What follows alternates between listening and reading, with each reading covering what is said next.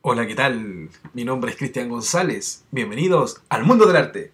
Ta, ta, ta, fanfarria, intro, cortina, todo hermoso. ¿No? ¿No pasó nada? Ok. vale hongo este canal. Pero estamos aquí hablando acerca de ilustración, así que lo demás no importa. Eh, no hay mucha postproducción, como siempre, y eh, tampoco hay mucho contenido, así que no, hace falta. Eh, vamos a hablar hoy día acerca de esta ilustración llamada Moremi Asajoro o Asayoro, no sé cómo se pronuncia, me van a perdonar los fans de Moremi Asayoro. Asajoro, Asayoro, Asajoro.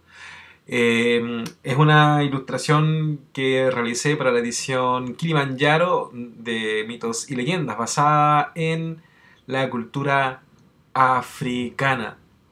¿Se han preguntado por qué todo lo que tiene que relación con África siempre está como en un solo paquete. Porque uno no habla así como de las Américas o la mitología de europea en general, ¿no? Habla como de los países. Pero bueno, será. Si estás viendo este, este pequeño reporte en uno de los canales de mitos y leyendas oficiales de, de Phoenix Entertainment o Salo Juegos, eh, te recuerdo que mi canal es Chamacoso para que me puedas encontrar por ahí y seguirme. También puedes buscarme como Chamacoso-Drawing en Instagram. Y ya, vamos a hablar acerca de esta ilustración. Esta es eh, la última de las tres ilustraciones que hice para Mitos y Leyendas edición Kilimanjaro. Así que habiendo subido esto, voy a estar también un buen tiempo sin subir contenidos nuevos por lo menos relacionados con mitos y leyendas. Eh, en esta ilustración hay varios elementos. Bueno, ya, ya conversamos acerca del proceso en términos generales, ¿cierto? Que al principio mando estos sketches que después se aprueban, o sea, se toma uno, se aprueba y a partir de ese trabajo. No sé si sea necesario eh, mostrar los sketches. ¿Qué dicen ustedes? ¿Que sí? ¿Que no? ¿Que, que qué? Vamos a ver ya. Vamos a ver entonces aprovechen de mirar la ilustración mientras yo busco el boceto. En este instante... Eh, hoy soy muy desordenado. ¿O no? O soy muy ordenado y no lo sé. Aquí está, edición África. Moremi Asayoro. Bueno, como siempre parto con sketches y después algunos referentes. Lo que sí me voy a saltar esta vez son los referentes, ¿ok? Bueno, ahí está parte del proceso y había comenzado a dibujar el original mismo. Pero esto es básicamente lo que yo envié. ¿Ok? Como pueden ver, está en un nivel muy sketch. Eh, recuerdo poco del relato, no vamos a detenernos hoy día en eso. Pero básicamente aquí tenemos una, versión de la muchacha entre medio, en medio de un río, con unos árboles detrás, vegetación, y un muchacho aquí que al parecer era su príncipe, no recuerdo muy bien la historia, como digo. Y ya las otras son muy similares, están las dos en un trono, aquí aparece más señorial, con un cocodrilo acá, y en esta un poquito más sexy y, con, un, con un felino aquí que le, había puesto, ¿cierto? Eh, así que esta fue la que se aprobó y a partir de esa comenzamos entonces con el trabajo. Ya vieron entonces lo, lo que mostré antes, que era la, la versión terminada eh, vamos a saltar de inmediato al proceso y vamos a avanzar rápidamente porque ya conocen, ya un poco del proceso. Ahora, lo interesante, como dije en el episodio anterior, es que independiente de que yo tenga mis modos de hacer eh, las cosas, eh, estos modos no son inalterables. Significa que a veces puedo hacer variaciones sobre el proceso y que se me ocurren cosas nuevas o aprendo algo nuevo o le copio algo nuevo a un autor distinto.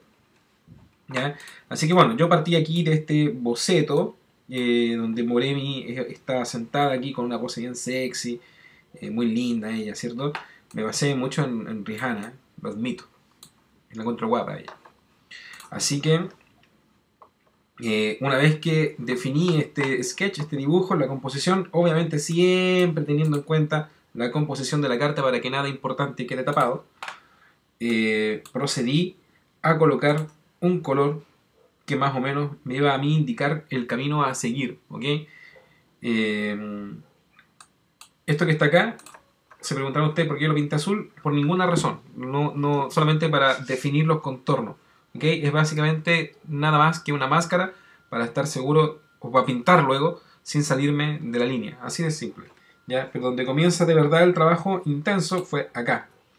Esta vez fue la primera vez que hice esto y lo aprendí de, de alguien. Creo que fue de Craig Mullins. Pero por ahí estuve viendo esto, esta manera de hacer esta, este avance, de comenzar, en lugar de comenzar por el color, en lugar de comenzar por los grises, como normalmente suelo hacer, partir con eh, una serie muy limitada de valores. En este caso me parece que son solamente tres. Hay tres valores, un tono intermedio, uno, un tono, un valor intermedio, un valor oscuro y un valor blanco. Claro, casi blanco, el otro es casi negro. No, no llega ni a blanco ni llega a negro el otro. Simplemente están en el casi casi. ¿Ok? Porque la idea es, bueno, yo procuro no llegar nunca al blanco y obviamente en, las zonas oscuras lo importante es que se siga viendo. ¿Cierto? Entonces, usando trazos muy toscos, muy básicos, definí las luces, las sombras y los medios tonos de este personaje. ¿Ok? Y aquí empieza lo, lo chorifly, lo chorifly. En lugar de hacer lo que suelo hacer, de partir con, una sola tonalidad oscura e ir levantando, tiré una serie de manchas, ¿ya? Que, que como pueden ver, varían de, de, de temperatura, de algunos tonos son bastante cálidos como este y otros tienden a ser más fríos. Ahora, nunca llegan a ser azules, o sea, la paleta básicamente se mantiene bastante cálida en términos generales. Si ustedes entornan los ojos, se ve casi un cafecito, digamos, un café verdoso. No sigue siendo una paleta cálida, porque quería que se viera cálido porque iba a estar dentro de un ambiente cálido. Esa era básicamente mi, propuesta inicial. ¿ya? Entonces tengo acá los, los, valores, eh, los tres valores que definí, y aquí tengo una serie de tonos eh, bastante cálidos, pero que de todas maneras se acercan bastante al verde. ¿Ok? esto que está acá, esto es una, una, trampa, una ayuda que me hago. ¿ah? De repente hay cosas que me cuesta resolver dibujándolas, así que esto lo hice vectorial. Usando Adobe Illustrator, generé una forma que se va repitiendo aquí a lo largo y aquí también hay unas formas que se van repitiendo por todo el borde de la silla. Entonces dibujé la silla en, una, en un archivo de Illustrator y luego lo pegué aquí. ¿Ok? Vamos entonces a seguir avanzando. Ya, dicho lo anterior, vamos a retroceder un poquito porque le cambié la opacidad. Ahí está. ¿Ya? A partir de esto que tengo acá, empecé a pintar. Y aquí el, el, proceso, básicamente, bueno, ahí sí que ya volvemos un poco a las ecuaciones que suelo usar siempre, ¿cierto? Parto por un tono más oscuro y poco a poco voy levantando hacia los tonos más luminosos, ¿cierto? Hacia los valores más luminosos. ¿Ok? En las áreas más oscuras, como este es un ambiente muy cálido, donde yo quería encerrar a Moremia Sayuro como si estuviera dentro de una choza donde entra la luz del sol por algún costado, pero no le da directamente al personaje. Y como todos los objetos dentro de la choza son de tonos cálidos, básicamente la iluminación en general tiende a ser cálida. ¿ya? Así que eh, la luz decidí que fuera amarilla, como esa que está aquí, y las sombras decidí que fueran casi eh, negras, de un, café, de un café muy oscuro. Casi todas las sombras tienden a este tono cálido y oscuro.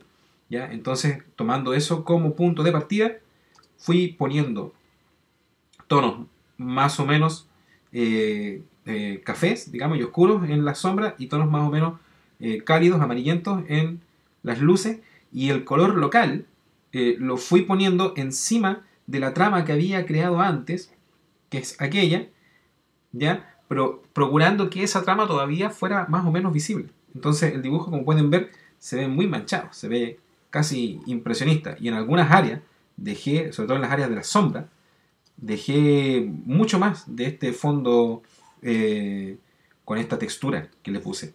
¿Para qué? para que el color se vea interesante, para que se vean como que las áreas están activas, ¿ya? Para que no se viera todo tan plano.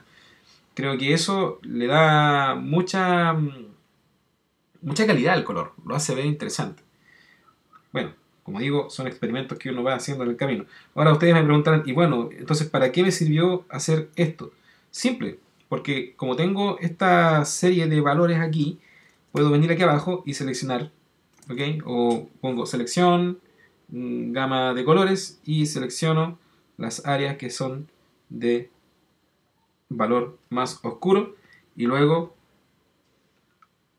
las iba pintando en esta capa, ¿ok? Y así con las claras y las intermedias. ¿ya? De hecho ahí se nota, se nota por ejemplo que ahí hay una selección. ¿eh? Ahí también se nota. ¿Ya? En este paso, como pueden ver, ya todo lo que eran decisiones importantes están tomadas. Están los, todos los valores, están todos los tonos, está, todo. La composición está todo jugando ahí. Ya está lista en términos, eh, por así decirlo, intelectuales. Las decisiones ya se tomaron. Ya sabemos dónde están los, puntos más iluminados, sabemos dónde están los, puntos más oscuros. Y ahora lo que sigue es refinar. En realidad, para mí, la ilustración, el proceso más intelectual, eh, llega hasta acá. ¿Okay? Hay pueden haber diferentes acuerdos eh, o desacuerdos. Pero hasta aquí llega el punto donde tú vas tomando las decisiones y donde básicamente defines cómo se va a ver el resultado final.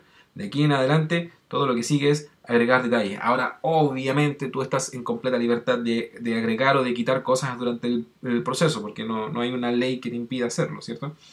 Como dijimos que las luces eran amarillentas, es importante mencionar que todos los objetos, incluyendo el rostro, incluyendo el paño que tiene en la cabeza, eh, incluyendo bueno, el, guepardo que está acá y cualquier otra cosa, cualquier, cualquier objeto básicamente, va a tener, eh, va a tender a ese color. A lo mejor no se nota aquí tanto porque es azul, pero este azul es mucho más frío que este. ¿okay? Calentamos un poco este azul para acercarlo al amarillo. ¿ya? No significa que directamente puse el amarillo ahí, sino que el azul que está acá lo calenté y, le, lo aumenté para, para, que, para que se acercara un poco a ese amarillo. Pero no va, no va, a, volver, no va a volverse amarillo, obviamente. Ya. Aquí hice unos ajustes de curvas para que se viera más oscuro. Y luego destacar más las luces. Estos son juegos que yo voy haciendo de manera más personal, ¿cierto? Como dije, voy jugando en esta cosa. Yo aquí oscurecí toda la imagen y después empecé a colocar algunos valores más luminosos en algunos sectores específicos. La silla, que en algún momento se veía como muy trabajada, que yo quería hacerle como que fuera de mimbre. En algún momento del proceso dije, bueno, no vale la pena, ¿cierto? Que sea tan detallada, porque en realidad la atención se va a centrar demasiado en la cara de ella y en el felino, como para preocuparnos tanto de qué es lo que. de, qué está hecha la silla y todo eso. Así que agregamos entonces estas luces eso que está aquí es mi paleta. No lo había mencionado, pero es importante. Porque aquí están los tonos más oscuros y aquí los más claros. Los valores más oscuros y los más claros. Las sombras siempre van a tener mucho de este color café oscuro y las luces siempre van a tener mucho de este amarillo que se ve aquí. Ok. Luego también estas son cosas, son decisiones estéticas. ¿ya? Puse una gradiente acá abajo. ¿ya? Para, en parte también para no tener que concentrarme demasiado en esta área. O sea, al, estar tan oscuro acá abajo, ya me puedo desentender un poco de esta área y de, hacerles demasiado detalle. Y también porque no, es necesario eh, poner el foco en esa área de la atención del, lector, entonces también con eso llevamos la atención hacia el rostro del personaje. Lo mismo esto, esta es una luz que entra desde la derecha y que también tiende a iluminar mayormente el rostro del personaje principal y parcialmente también el rostro del felino que tenemos aquí en la composición. Lo que sigue luego son ajustes de tono, de valor, de contraste, de color, de, saturación, etcétera, etcétera, pero que básicamente eh, obedecen a, a, tincadas de alguna manera. Básicamente obedecen a criterios personales de lo que yo quiero hacer. Así quedó al final, ¿cierto? Ok, hasta este punto, como dije antes, y ahora sí, claro, está todo definido. O sea, básicamente creo que de aquí en adelante no hice ninguna alteración de, tono, de valor o de saturación. De saturación quizás sí.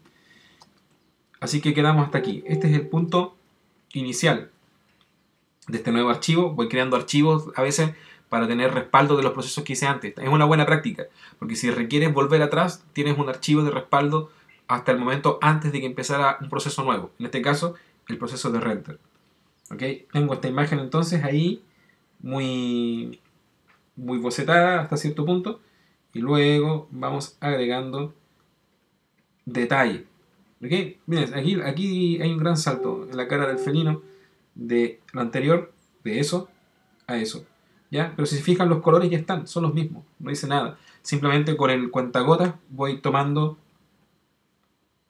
voy tomando color del mismo, del mismo mono, digamos, del mismo dibujo, y voy pintando encima.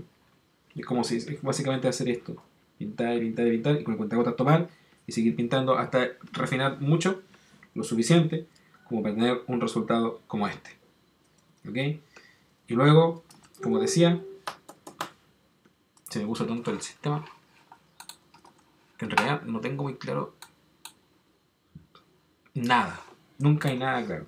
Esa es la cuestión. Ya. Bueno, aquí vamos a mostrar qué pasó, porque fue muy, muy, largo, el salto. Pero es eso nomás, ¿ven? Si se dan cuenta, por ejemplo, incluso aquí el sillón, yo, yo creo que a lo mejor pude haberlo dejado incluso así. Pero bueno, como soy detallista, me puse a detallar, es lo que hacen los detallistas. así que, finalmente me puse a pintar todo para refinarlo más hasta, hasta este punto, en realidad. Porque poco más se agregó al final. Ah, ¿qué pasó? No, ¿qué estás haciendo, maldita sea? Ya, es eso. Ah, bueno, ahí le agregué unos efectos a la pared para que se viera como que estaba masterizada. Refiné un poco algunos detalles donde quizá el ojo iba a poner atención. La idea no es refinarlo todo, sino que donde piensas que el ojo se va a fijar primero y después lo demás lo dejas un poco más suelto, como se ve acá. Un poco de detalle, más contraste cambios de nivel, etcétera, etcétera. Y finalmente, ahí esto para comprobar que quedó bien enmarcada. Pero eso sería, ahí está Moremi Asayoro. Toda guapa. Me quedó bien guapa. Me quedó guapa. Guapa, guapa, guapa. Algo cacho. Ahí está Moremi Asayoro. También conocida como. como dijimos recién. Bueno, se me olvidó cómo se llama la cantante. Y ahí está. También hubo un proceso de referentes, obviamente, pero ya lo conocen, así que lo saltamos. Eso, gente, muchas gracias por acompañarme en este extraño especial. Como que no me sentía particularmente entusiasta en este instante, pero creo que quedó bien. Si te gustó, déjame un like. Si no te gustó, no me dejes nada, no me gustan los dislikes. No tiene sentido, ¿para qué darle dislike a algo que no te gusta? Hay otra cosa que sí te gusta, simple. Ya, si quieres dejarme algún comentario, bacán. Y si no quieres, eh, no lo dejes no tiene sentido, ¿cierto? y, eso, gente preciosa, si piensan que a alguien le puede gustar o servir esto que compartimos el día de hoy, mándenle este archivo, este, este video, y invítenlo a conocer mis redes sociales. Eso. Y ahí está. Muere uh, ya, se acabó. Ah, pero falta, falta el, paneo, ¿cierto? Como que lo edité bacán así. ¿ah? Soy un editor bacán y le hice un paneo en cámara lenta. Cristian González ha ilustrado para mitos y leyendas desde Espada Sagrada, más conocido como Chamán, el famoso autor del Dragón Dorado. Ya hay no más gente, gracias. Adiós.